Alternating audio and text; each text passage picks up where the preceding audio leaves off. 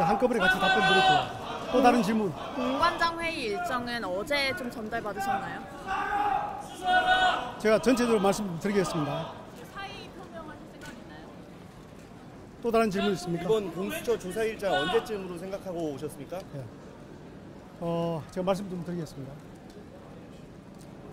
어, 저와 관련하여 제기됐던 여러 가지 의혹들에 대해서는 어, 제가 이미 수차례에 걸쳐서 그러한 의혹들이 사실이 아니라는 점은 분명하게 말씀드렸기 때문에 여러 가지 의혹들에 대해서 오늘은 다시 중보해서 말씀드리지 않겠습니다.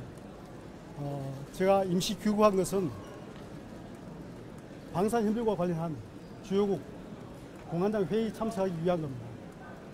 체류하는 기간 동안에 공수와 일정이 조율 잘 되어서 조사받을 수 있는 그런 기회가 있으면 좋겠다는 생각입니다. 그 저희 향후 일정과 관련해서는 아마 다음 주는 방산 협력과 관련된 업무로 상당히 일이 많을 것 같고요.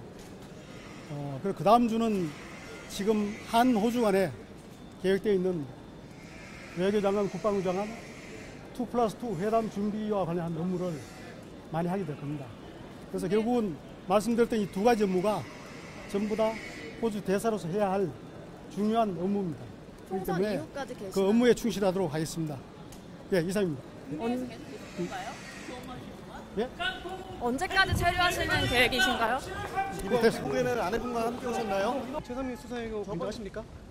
어, 수사 문제는 수사기관에서 제가 말씀을 다 드리겠습니다. 가족들이 하지 휴대전화. 제출하신 이유는 있으신가요? 발등 일단 하지 마세요. 예, 이제 비켜주세요. 따로 하지 말고 오세요. 그 오늘 여기까지 하겠습니다. 공간장 회의 급조됐다는 지적에 대해서는 좀 어떤 입장이신가요? 입장에 언제 대해서는 좀 어떤? 입장이신가요? 회의 어제 전달 받으신 거 맞나요? 바로 공수처 가실 계획 있으신가요?